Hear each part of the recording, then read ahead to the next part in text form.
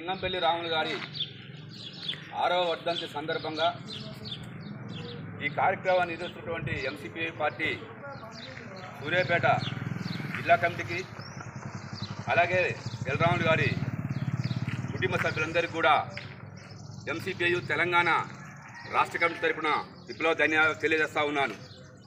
Comrade Lingampalli Ramulu గారు తాను పుట్టినప్పటి నుంచి చిన్నతనం నుండి కమ్యూనిస్టు పార్టీకి ఆకర్షితుడై ఎర్రజెండ చేతబట్టి కామ్రేడ్ భీమిరెడ్డి నరసింహారెడ్డి మద్దికాయల ఓంకార్ వర్దెల్లి బుచ్చిరాములు గారితో ఆనాడు కమ్యూనిస్టు పార్టీలో మార్క్సిస్టు పార్టీలో పనిచేస్తూ ఈ కందగట్ల గ్రామంలోనికి గ్రామంలో దాదాపు ఎనిమిది సంవత్సరాలు సర్పంచ్గా ఎన్నికై ఇక్కడ ఉన్నటువంటి నిరుపేదలందరికీ కూడా వారి యొక్క సమస్యలను తెలుసుకొని వారి కోసం నిరంతరం పనిచేసినటువంటి వ్యక్తి కామ్రేడ్ రాములు గారు.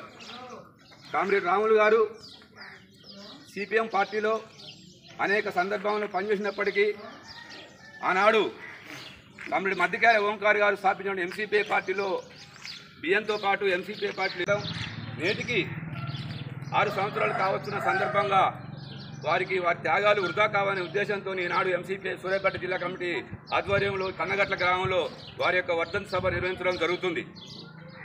ఈ కన్నగట్ల గ్రామంలో సబ్స్టేషన్ కానీ బోరింగ్లు కానీ ఇళ్ళ స్థలాలు కానీ రోడ్లు కానీ డ్రైనేజీలు కానీ అన్నీ కూడా కరెంటు స్తంభాలు కానీ ఇవన్నీ కూడా ఆనాడు ఎల్రాములు గారు వేసినట్టు ఉన్నాయి తప్ప ఇప్పుడు పరి పాలకులు వేసిన లేవు.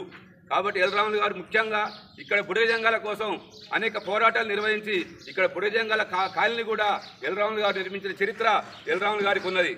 ఈ మధ్య కాలంలోనే ఇక్కడ కొంతమంది ఆ బుడగజంగాల కాయల్లో ఒక ట్యాంకు కట్టాలని వచ్చినప్పుడు వాళ్ళంతా కూడా ఎల్రాములు గారి ఫోటో తీసుకొని బయటకు వచ్చి అయ్యా మాకు ఎల్రాములు గారు ఇచ్చిన ఇల్లు ఇది ఇక్కడ కడతానికి వీల్లేదని చెప్పి కలెక్టర్ని ఆర్డీఓని ఎంఆర్ఓని కూడా వెనకల చరిత్ర ఈ కందగట్ట గ్రామానికి ఉన్నది.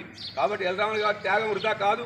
వారి ఎల్రామ త్యాగం ప్రతి సంవత్సరం కూడా వారి యొక్క త్యాగాన్ని గుర్తించే విధంగా ఎంసీపీ పార్టీ ఆధ్వర్యంలో ఈ కార్యక్రమం నిర్వహించడం జరుగుతుందని చెప్పి తెలియజేస్తూ ఈ కార్యక్రమానికి వచ్చినటువంటి వారి కుటుంబ సభ్యులు కోడళ్ళు కొడుకులు అలాగే వారి కూతురు రేమ్ రేణమ్మ అశోక్ గారు అలాగే వాళ్ళ బంధుత్వ అన్నలు తమలందరికీ కూడా ఎంసీపీ పార్టీ తరఫున వచ్చేటి మీ అందరికీ కూడా పేరు పేరున తెలంగాణ రాష్ట్రం తరఫున విప్లవ ధన్యవాదాలు తెలియజేస్తూ సెలవు తీసుకుంటున్నాను.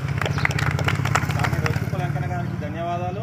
పార్టీ జిల్లా సహాయ కార్యదర్శి కామ్రేడ్ ఏపూర్ సోమన్న గారిని మాట్లాడాలని చెప్పబడతాం